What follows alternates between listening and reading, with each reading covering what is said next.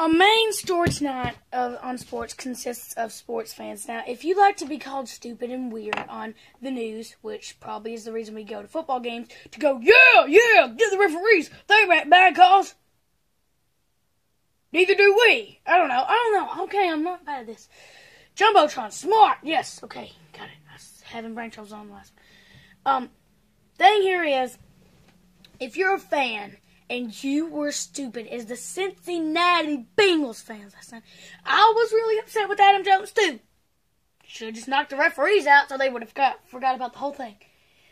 And you were probably saying, "Look, baby, don't look at this. We want you to be a healthy and a good, good old boy, like your mama, good old mama, and your daddy too, and whatever."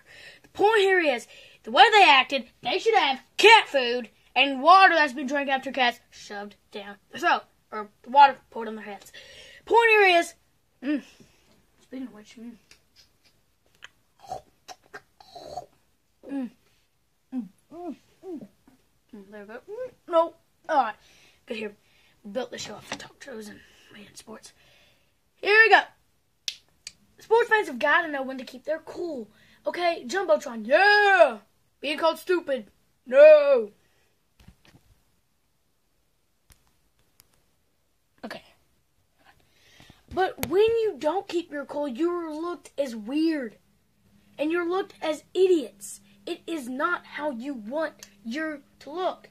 Weird, alright, but idiots, no. Okay? You don't want to be the person that is looked as weird and stupid. No, never.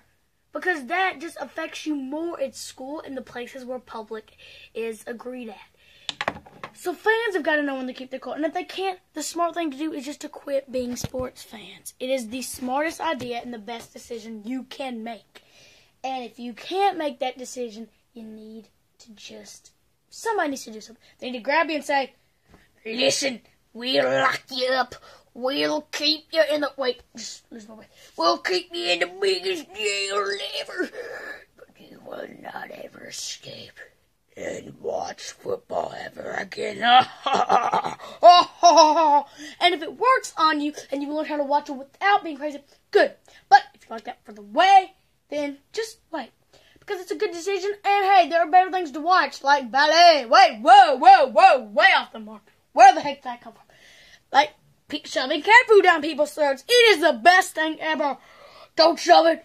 Oh, oh, what is that? Throw up teriyaki. Good gosh, what do your cats eat? Man, no wonder your house smells bad with all them cats. They farting like weirdos. Woo! Burrito City! Now, just the point here is, you've got to know when to keep your cool as fans. Because it is the base. It makes your franchise look even stupider, depending on how you look as fans. But fans, sports fans, have got to know when to keep their cool. Makes you look weird if you don't. Thank you for watching.